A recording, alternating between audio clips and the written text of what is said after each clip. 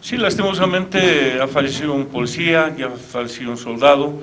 Eh, vamos a ver qué es lo que ha sucedido. Eh, justamente por ello están los dos grupos operativos de la Fuerza Especial de Lucha contra el Crimen y el Instituto de Investigación Policial, el ICUP, para que realicen las investigaciones pertinentes, para que en base a diferentes hipótesis que se vayan a plantear se establezcan responsabilidades.